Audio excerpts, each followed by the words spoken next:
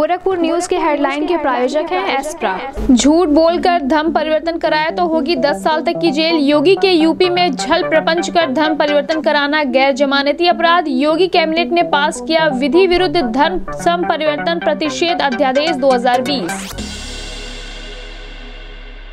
मंडलायुक्त ने मंगलवार को किया विभिन्न मंडल स्तरीय विभागों के कार्यालयों का औचक निरीक्षण, हाजिरी रजिस्टर की की जाँच, अनुपस्थित मिले आठ अधिकारी और 127 कर्मचारी, मांगा स्पष्टीकरण।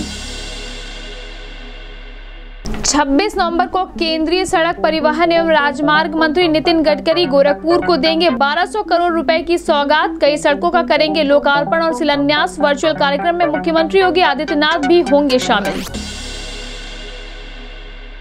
वीडियो कॉन्फ्रेंसिंग के माध्यम से बेसिक शिक्षा विभाग के महानिदेशक स्कूल शिक्षा विजय किरण आनंद ने विभाग द्वारा संचालित विभिन्न योजनाओं की की समीक्षा दी आवश्यक दिशा निर्देश। जिलाधिकारी के विजय पांडेयन द्वारा मंगलवार को नेताजी सुभाष चंद्र बोस जिला चिकित्सालय का किया गया औचक निरीक्षण, व्यवस्था से दिखे संतुष्ट दिया आवश्यक दिशा निर्देश।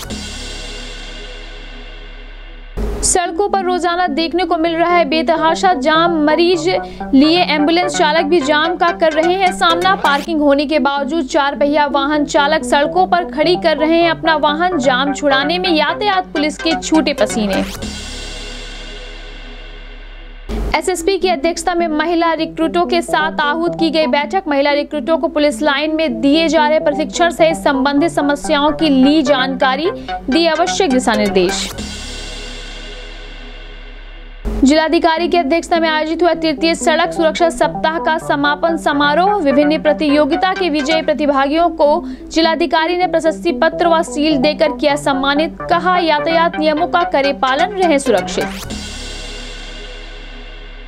गोरखपुर में मंगलवार को मिले 48 नए कोरोना संक्रमित मरीज़। एक की हुई मौत ज़िले में संक्रमित मरीजों की संख्या हुई उन्नीस हज़ार आठ सौ अठहत्तर, अब तक 320 कोरोना संक्रमित मरीज़ गंवा चुके हैं। अपनी जान तीन सौ उन्यासी हुए एक्टिव मरीज़ सीएमओ डॉक्टर श्रीकांत तिवारी ने की पुष्टि। गोरखपुर, फैजाबाद खंड शिक्षक निर्वाचन चुनाव को संपन्न कराने के लिए एडीएम सिटी की अध्यक्षता में मतदान अधिकारी प्रथम, द्वितीय, तृतीय एवं पीठासीन अधिकारियों को दिया गया प्रशिक्षण, बताए गए मतदान कराने के नियम। एसपी क्राइम की अध्यक्षता में संपन्न हुई व्यापारी सुरक्षा प्रकोष्ठ की बैठक, व्यापारियों की विभिन्न समस्याओं पर हुई चर्चा, निस्तारण के दिए निर्देश। लॉकडाउन के दौर से ही बंद रेल म्यूज़ियम सा हेरिटेज प्लाजा को मंगलवार से रेल प्रशासन ने आम जन के लिए किया ओपन। लोगों ने जमकर उठाया लुफ्त। सीपीआरओ ने कहा, कोरोना प्रोटोकॉल का कराया जा रहा है पूर्ण पालन। और अधिकारी कर्मचारी संयुक्त संघर्ष मोर्चा उत्तर प्रदेश, गोरखपुर, डिपो के तत्वाधान में परिवहन निगम के कर्मचारियों द्वारा आम सभा किया गया आयोजित। परिवहन निगम कर्मचारियों द्वारा अपने सात सूत्रीय मांगों के समर्थन में की गई अपील।